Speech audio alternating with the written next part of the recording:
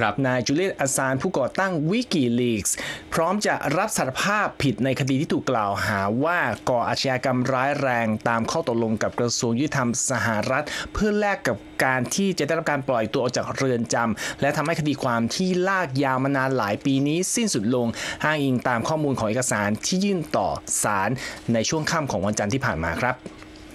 กระทรวงยุติธรรมสหรัฐ ระบุในจดหมายที่ส่งให้กับศาลว่าอาซานมีกำหนดปรากฏตัวที่ศาลรัฐบาลกลางในหมู่เกาะ Northern Mariana ซึ่งเป็นดินแดนสหรัฐในแปซิฟิกตะวันตก เพื่อรับสารภาพผิดต่อข้อกล่าวหาภายใต้กฎหมายจารกรรม ว่าทำการสมคบคิด เพื่อดึงและเผยแพร่ข้อมูลชั้นความลับ เกี่ยวกับกิจการด้านกลาโหมของประเทศโดยผิดกฎหมาย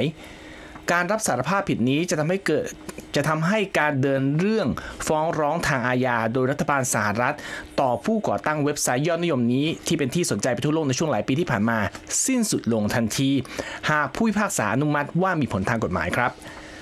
รายงานข่าวระบุว่าอาซานจะเดินทางกลับสู่ออสเตรเลียหลังเสร็จสิ้นกระบวนการสารภาพผิด และรับโทษที่มีกำหนดในเช้าวันพุธนี้ ตามเวลาในกรุงไซปานเมืองหลวงของหมู่เกาะ Northern Mariana แล้ว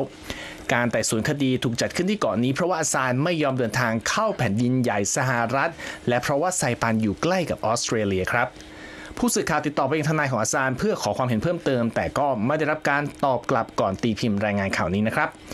ข้อตกลงยอมรับสารภาพผิดนี้ทำให้อาซานไม่ต้องรับโทษจำคุกใด ๆ เพิ่มเติม หลังใช้ช่วงเวลาหลายปีที่ผ่านมาหลบอยู่ในสถานทูตเอกวาดอร์ในกรุงลอนดอน เพราะถูกทางการสวีเดนตามจับในข้อหาข่มขืน ก่อนจะถูกทางการอังกฤษจับ ขังในเวลาต่อมาครับ ข้อตกลงยอมรับผิดของอาซานนี้ได้ข้อสรุปออกมาไม่กี่เดือนหลังจากประธานาธิบดีโจไบเดนกล่าวว่าตนกำลังพิจารณาคำร้องจากออสเตรเลียให้สหรัฐเลิกพยายามดำเนินคดี กับผู้ก่อตั้งวิกิลีกนี้เสียทีนะครับ